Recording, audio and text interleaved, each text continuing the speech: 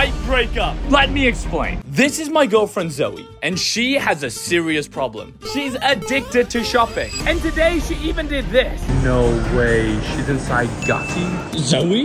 What are you doing? Guys, just start shopping. What did you get? You got a purse? Zoe has taken it too far. It's time to put an end to this. I'll take that.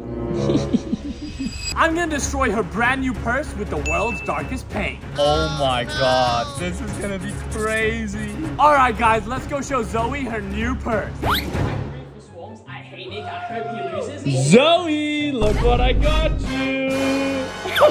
oh my god. Oh my god. Zoe, don't be sad. If everyone watching subscribes, I'll buy you a new one.